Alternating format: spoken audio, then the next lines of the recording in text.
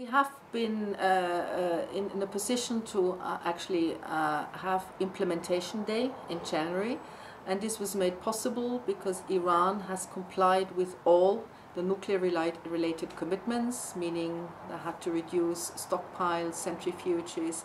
This was all verified by the IAEA and um, uh, the EU, UN and US have lifted all economic, financial, secondary nuclear related sanctions. But this is of course an ongoing uh, process. Uh, the agreement, the JCPOA needs to be uh, uh, implemented continuously and this is where the European Union uh, is playing the role of coordinator.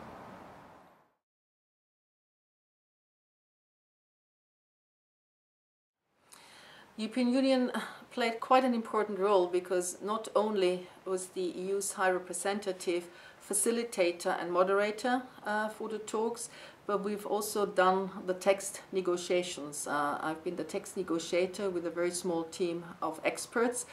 Uh, we have been throughout the process responsible for keeping the unity among uh, the, the, the so-called E3 plus 3 we call it E3 plus 3 because it reflects also the fact that uh, the European Union played a very important role. And uh, uh, we continue to play a role with the High Representative as the coordinator for the Joint Commission.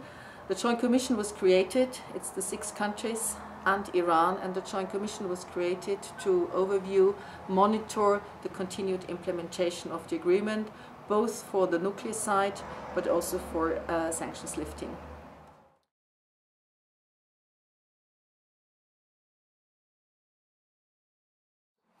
I wish it could be. It was a successful. It was a successful formula. Um, also because we had a clear mandate, legitimacy mandate from the Security Council.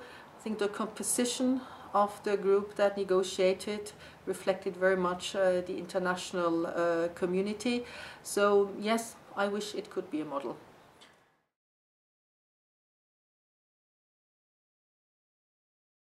There are, there are, several aspects. Uh, the agreement definitely um, uh, is good for us because it gives us the necessary assurances uh, uh when it comes to the uh, peaceful nature of Iran's nuclear program. It's been uh, reassuring also for the region. It will hopefully have prevented um, an incentive for a nuclear arms race in the region. But it's also, of course, beneficial uh, for Iran because it allows uh, Iran to open up and uh, to op uh, and uh, to um, uh, come back to the international community also when it comes to the economic side.